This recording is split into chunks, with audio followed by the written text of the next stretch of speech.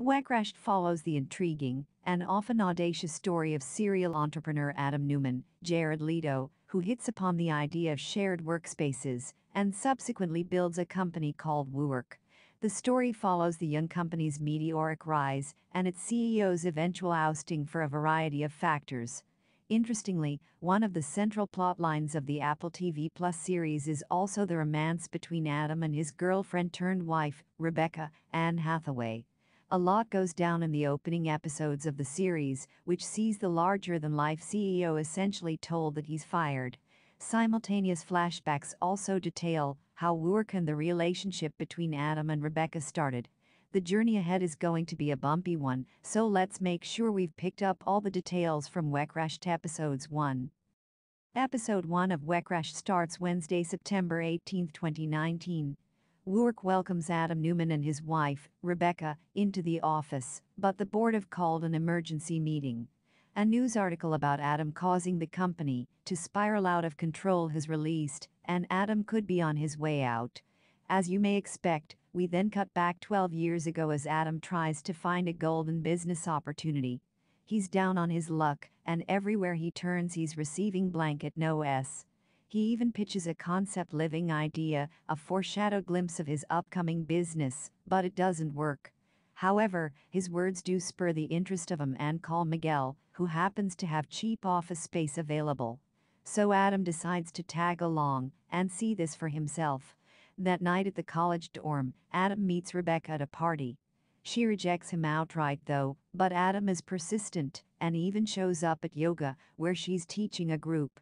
Eventually, she does succumb and agree to go out for dinner, but in doing so, things go sour. The pair end up arguing, with Rebecca giving a scathing assessment of Adam's failed business ventures. It doesn't deter Adam, though, who shows up at the studio the next day after hearing about her monetary woes, sticking up for Rebecca in front of her boss. In doing so, she changes her opinion of him, and the pair start kissing. Despite the pair dating, Rebecca still isn't convinced that Adam has what it takes to sell.